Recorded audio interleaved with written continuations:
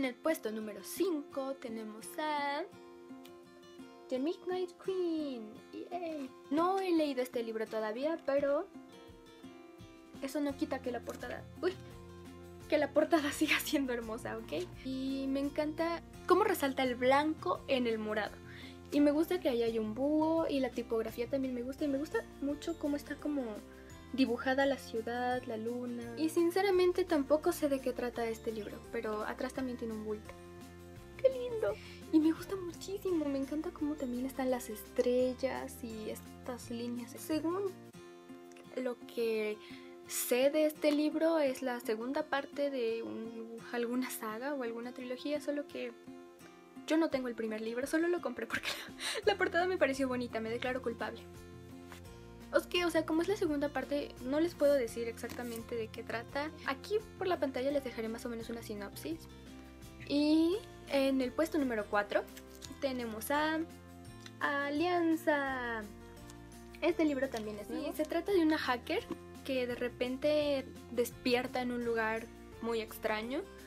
Mm, y lo único en lo que ella puede pensar es en escapar. Es como una distopía pero con una chica hacker, entonces es algo que creo que no hemos visto. Y no sé, la portada me gustó porque es como medio plateado y aquí tienen unos numeritos, ¿sí lo ven? Como 0100, ya saben, el idioma de las computadoras. Y me gustó igual cómo resalta el color en el fondo gris y que siento que esto representa muy bien el libro porque trata de hackear computadoras. Y en el puesto número 3 ah, tenemos a Los Hijos del Tiempo de Ana Colchero. Eh, creo que siento que este libro no es muy conocido, pero en realidad me gusta bastante. Eh, la historia transcurre en Nueva York y por eso la portada es así. Es como la calle, ¿sí ven? Eh, incluso se, se, tiene como textura. Y la tapa de la coladera me encanta.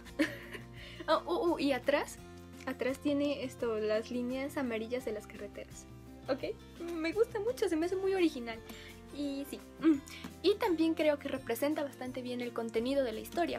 Bueno, la historia transcurre en Nueva York y es un futuro distópico. Ya no me acuerdo muy bien, pero... Dice, tras los atentados del 11 de septiembre de 2001 da comienzo a la nueva era de la neohistoria. El consejo que manipula los hilos del mundo desde la sombra emprende de la cruzada final para exterminar a los parias que ponen en peligro su supremacía ideológica y económica, condenando a los supervivientes a vivir en el subsuelo, en los metros abandonados y en las alcantarillas, alimentándose de los despojos de la superficie. No obstante, estos marginados, los Dalits, porque tiene su propio idioma, la autora inventó palabras nuevas, aspiran a subvertir el sistema que los obliga a vivir como indeseables.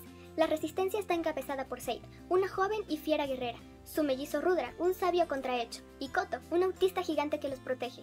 Su arma principal, además del coraje y la sed de justicia, se encuentra en los viejos libros abandonados. En medio de una compleja trama de mentiras y violencia que tiene como fin sofocar cualquier intento de rebelión de los Dalits, Cliff Haynes, hijo de un miembro del Consejo Mundial, al renegar de su casta superior, cruza sus pasos con los de la Bella Seid y sus compañeros del inframundo. Entonces, pues, la verdad es que es un libro bastante, bastante interesante. Y es que, aparte de que la portada es hermosa, bueno, el libro es bastante... No sé, te hace reflexionar, ¿ok? Eh, sobre cómo es que lo que hacemos en el presente con todo esto de la tecnología y todo el mal uso que le damos, más bien dicho, podría llegar a ser algo, un hecho contraproducente. En el puesto número 2 tenemos a Ready Player One. Miren cuántos post le puse. Amo este libro. Amo este libro. Su portada es hermosa y el contenido es aún más hermoso. La verdad es que la portada también representa bastante bien el contenido del libro. Es un azul muy bonito. Quizás no se note muy bien lo bonito que es por la luz, pero es un azul bastante bonito. Y tiene estos monos. a estos monos de los videojuegos que me encantan y estos cuadritos que son como si fueran pixeles o algo por el estilo. Oh Dios, no, me encanta, en serio. El contraste del amarillo sobre el azul, o sea, pero los colores de los monos, los colores de la portada en general, los colores que componen la portada son bellísimos. Me traumé bastante con este libro, ¿se nota? X. El caso es que Bueno, esta novela también es de un futuro. Créanme cuando les digo que es un libro muy bueno y la verdad también es como para reflexionar. Eh, igual, trata de un futuro, eh, de hecho del 2045, o sea, algo relativamente cercano. Un año en el que la Tierra ya está en serio en muy malas condiciones, con mucha pobreza y mucha corrupción y mucha delincuencia y mucha contaminación y muchos problemas financieros en realidad, pues nadie quiere vivir ahí. Todos quieren escapar de esa realidad y afortunadamente hay alguien que los pudo sacar de esa vida horrible que tenían. Y él es James Halliday, que es un inventor muy antisocial de videojuegos. Y él creó el videojuego llamado Oasis, en el que puedes tener una vida muy distinta de la que tienes en la vida real. Y obviamente, o sea, es más o menos como los Sims, los Sims 20 o los Sims 100, si algún día llegaran a ser así todas las personas del mundo viven prácticamente en Oasis. Es como si su vida, la vida real fuera en Oasis y la fantasía fuera en la vida real. Pero entonces llega la noticia de que James Halliday muere. Y él era rico, si no lo mencioné. Era billonario, trillonario, no sé, tenía mucho dinero. Eh, pero no tenía herederos. Entonces deja un huevo de Pascua escondido en su videojuego. Y quien encuentre primero ese huevo tendrá su fortuna para él solo. Pero no crean que va a ser tan sencillo encontrar ese huevo de Pascua. Em, porque tienes que franquear muchos acertijos que Halliday puso en su videojuego. Y entonces está Wade Watts, nuestro personaje principal. Él sabe todo sobre Halliday y él, él es un friki. Por eso lo amo. Mientras avanza en su búsqueda por el huevo de Pascua, conoce a otros Gunters, que son como se les conoce a los cazadores del huevo de Pascua, y conoce a Artemis y a, su mejor amigo H. Y en el camino, tras su búsqueda del huevo de Pascua, él va reflexionando acerca de todo lo que representa Oasis y de cómo es que escapan de la realidad.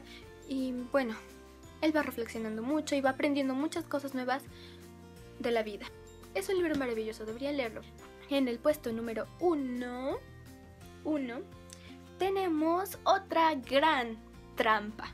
En serio, muy grande trampa. Porque son todas las portadas de toda la saga absolutamente de Maze Runner. Oh, sí. tenemos Correr o Morir, que es el primer libro. Tenemos Prueba de Fuego, que es el segundo libro. Tenemos La Cura Mortal. Tenemos la precuela, que es esta. Mm, Virus Letal, el comienzo. Y tenemos el libro extra, que es muy pequeño, pero igual me encanta, me encanta. Mm. Sí, soy una friki de Maze Runner. La verdad cuando compré los libros creí que no me iban a gustar, pero terminaron siendo una de mis sagas favoritas. La verdad me gustan mucho más estas portadas que las que son en inglés o las que son en España no sé por qué. La versión que trajeron de Latinoamérica me pareció la más bonita. En lo personal, no se lo tomen a pecho. Eh, representa bastante bien el contenido. Mm, pues como pueden ver, es el chico corriendo a través del laberinto lleno de cosas feas. A mí me gusta eh, que sea tan tétrico porque lo representa muy bien. Y me gusta que sea metálico el título de Maze y pues si no saben de qué trata y no han visto la película aún, lean primero el libro. Trata de un chico que de repente despierta en un elevador. A mí me daría mucho miedo. Y de repente no sabe dónde está, hacia dónde va. Y entonces llega a un lugar y ahí empieza su nueva vida. En el área, que es a donde llega. Y allí él sabe que alrededor hay un laberinto al que está prohibido ir. Nadie sabe por qué están allí, todos piensan que es para salir del laberinto. Pero en realidad no es para eso. Bueno, en principio sí, pero después ya no. Es algo mucho peor. Pero no les puedo decir qué. En el segundo libro ellos empiezan a sufrir realmente. Si creen que lo que les pasó en el laberinto fue sufrimiento, tienen que llegar a esta parte. Y me gusta mucho porque representa como que todas las pruebas que tienen en, esta trama. Después tenemos el tercer libro que es La cura mortal. Y es el último y créanme, la cura Sospeché de qué se trataba la cura por el título. Si ya lo leyeron, saben qué son estos, que son como donde se, donde se cargan, por así decirlo, los penitentes. Igual, es una portada muy tétrica y por eso me gusta mucho. Después tenemos la precuela. La amo. Siento que quizás como película quedaría bien, quizás sería un poco aburrida la película, pero siento que quedaría bien. o sea, yo siempre me la estaba imaginando como película. Y siento que también representa bastante bien. Esto explica cómo es que se creó mm, Cruel y cómo es que se creó el virus. Y después tenemos el extra, que en realidad no tiene mucho, solo este como penitente muerto, supongo que está muerto. Eh, como si le hubieran puesto un sello ahí. Bueno, y como, lo, como dice el libro, este mini libro, pues son los expedientes secretos y sí te ponen como, como si fueran archivos realmente. Ah, por ejemplo, ¿lo ven? ¿Qué tal? Siento que es como interactivo casi. Ok, y este fue el top 10 de las portadas favoritas. Nos vemos en un próximo video. Bye.